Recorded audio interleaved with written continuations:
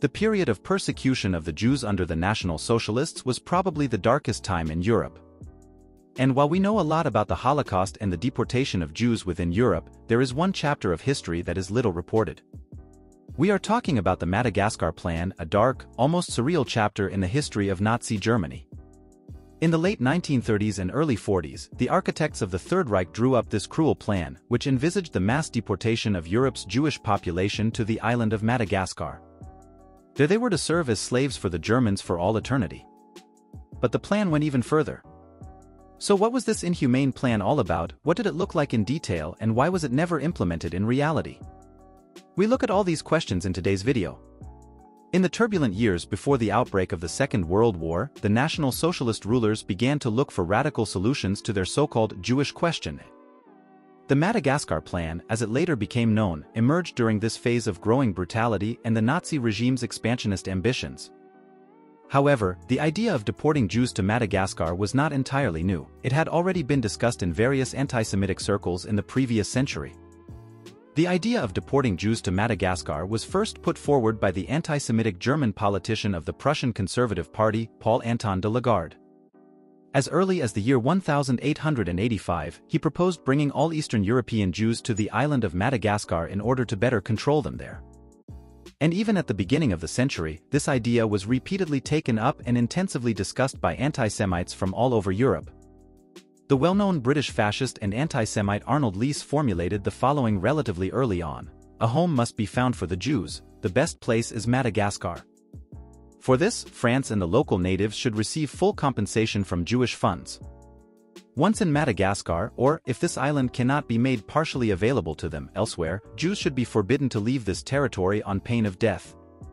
There is no other way.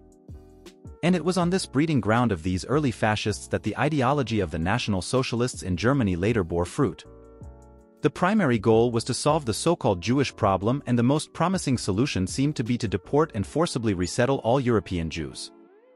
Numerous plans were developed and several destinations for such a forced resettlement were under discussion. Countries such as Ecuador, Colombia and Venezuela were on the shortlist.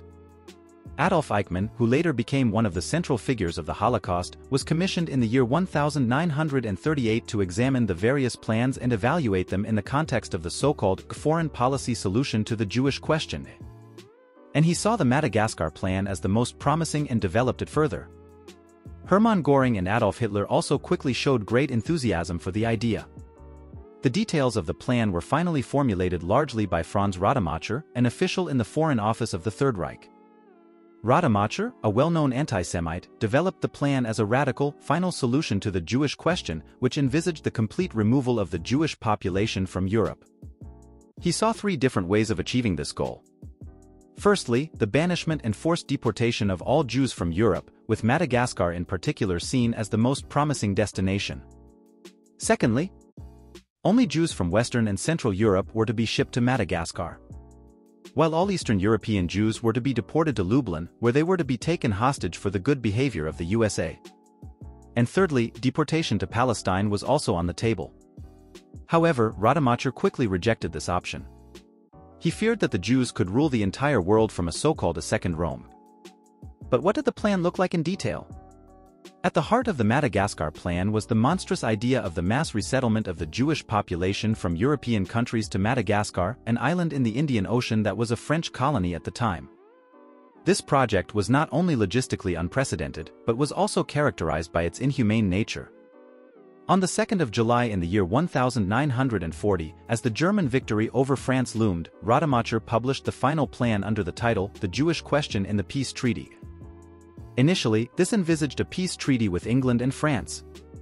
This was because the British Navy ruled the seas and the French ruled Madagascar. It therefore provided for the French Vichy regime to hand over control of Madagascar to Germany in a peace treaty. Germany was to be given the right to establish military air and naval bases on Madagascar. The 25,000 Europeans from the island, the majority of whom were French, were to leave the islands in return in order to lay the foundations for the mass emigration of Jews. His plan envisaged the deportation of a total of 4 million European Jews, later there was talk of 5 to 6 million. The implementation of the project was to be financed from the Jewish assets of the respective home countries. The SS was to be used for the implementation as well as the chancellery of the Führer for the coordination of the transports. And a police governor appointed by Himmler was to rule the island for all time. While some may think that this plan might have saved many lives, it must be made clear that the plan is now assessed quite clearly by historians.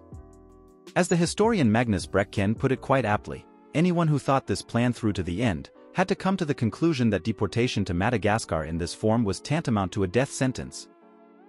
And so it seemed more economical for the Nazis to eliminate the Jews in Europe right away. However, a number of other influences also ultimately led to the failure of the plan. For one thing, there was never a peace treaty with Great Britain and the dominance of the British naval forces made it seem impossible to transport millions of people to Madagascar. And the French Vichy regime refused to cede the island. There were ideas for a violent conquest of the island. However, in view of the preparations for the major strike against the Soviet Union, no troops were available for such an operation. And when the British landed on Madagascar in May of the year 1942 and secured the island, the plan became obsolete. For in the year 1942, further problems arose, as the military and political reality in Europe had changed. With the failure of the German forces to achieve a quick victory over the Allies and the intensifying warfare, it became clear that the implementation of such a plan would be impossible in terms of both time and resources. In particular, however, the logistical impossibility of deporting millions of people over long distances actually caused the plan to fail from the outset. If you look at the old manuscripts, you can see that the plan was not just a pipe dream, but was planned with incredible seriousness and precision. Today we can assume that if the Nazis had held out for longer or even defeated the Allies, it would very probably have been taken up again. In many respects, however, the Madagascar plan was also a forerunner of the Holocaust. It was characterized by a total disregard for human life and fundamental rights, with people being expelled on the basis of their ethnicity. In this context, the National Socialist solution to the Jewish question quickly transformed from a theory of deportation into a policy of systematic mass murder. The Holocaust, which was subsequently realized, led to the deaths of six million Jews, an act of unimaginable cruelty and brutality that challenged humanity itself. Although the Madagascar Plan is not necessarily known to the general public today, it occupies a significant position in historiography.